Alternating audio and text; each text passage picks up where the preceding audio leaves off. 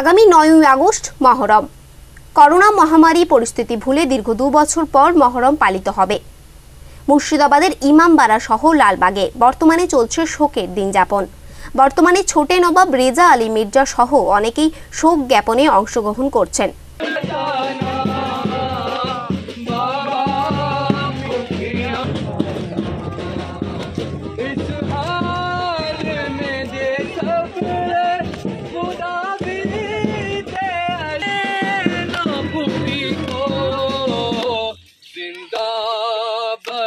मुश्किल है मेरा खेमे में जाना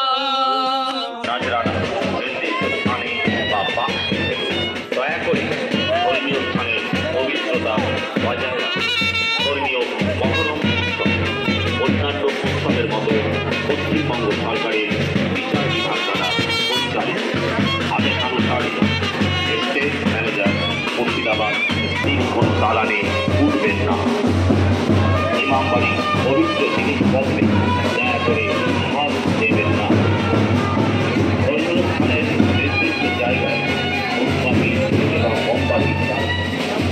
ইতিহাস আছে।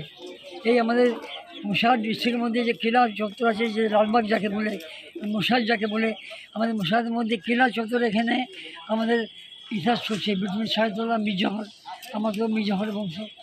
আপনাদের যে কথা সাহেবতলা চলে আসছে প্রাণপাড় নবাবদের সেখানে নবাবরা সাতশো মন্দির করেছেন, নশো মসজিদ করেছেন। এখানে কোনো বিবেক নেই। আজকে আপনি এখানে ধর্ম করছি, দেখবেন হ্যাঁ? এখানে পুলিশ প্রশাসন, সব হিন্দু, আমাদের এখানে অনেক ছেলা হিন্দুদের পার্টিসিপেট করেছে। আমরা এখানে, আমরা মহরমে বাঙালিরা পার্টিসিপেট করে, তার মা বোন দশদিন মাছ খান না মাথা তেল নেন না ভিজা গায়ে হ্যাঁ ভিজা গায়ে ভিজা গায়ে আপনার মামাদের প্রার্থনা করেন। এই আমাদের একটা পারম্পরিক ইতিহাস চলে আসছে। এখানে কোনো বিবেক নেই। হ্যাঁ আমাদের হিন্দু, মুসলমান মিলে আমরা মহরম করি। এবার আমি ছোটো নয়।